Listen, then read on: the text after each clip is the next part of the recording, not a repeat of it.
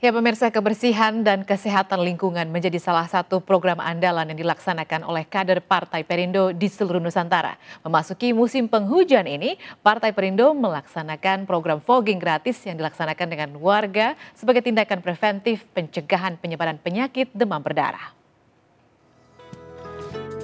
Memasuki musim hujan, kebersihan dan kesehatan lingkungan menjadi salah satu program andalan yang dilaksanakan oleh kader Partai Perindo di seluruh Nusantara, seperti yang dilakukan oleh David Eugenius Silahoy.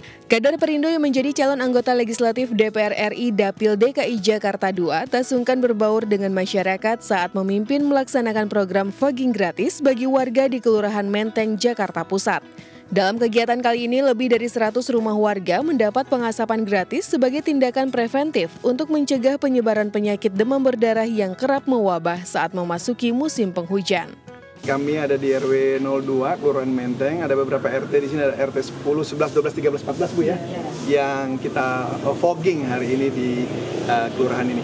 Dan saya lihat sih sejauh ini seluruh masyarakat uh, mendapatkan manfaat fogging itu hmm. dan kami berharap dari manfaat fogging itu bisa tetap sehat dan tidak terkena nyamuk demam berdarah juga ya. Harapannya ya bebas dari demam berdarah, nggak ada yang kena lagi ini gitu.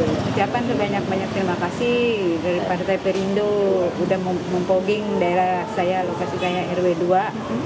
RW 02 Kelurahan Menteng. Tak hanya peduli kesehatan, sebagai caleg Partai Perindo, David Eugenius Silahoy juga peduli dengan kesenian dan budaya nasional.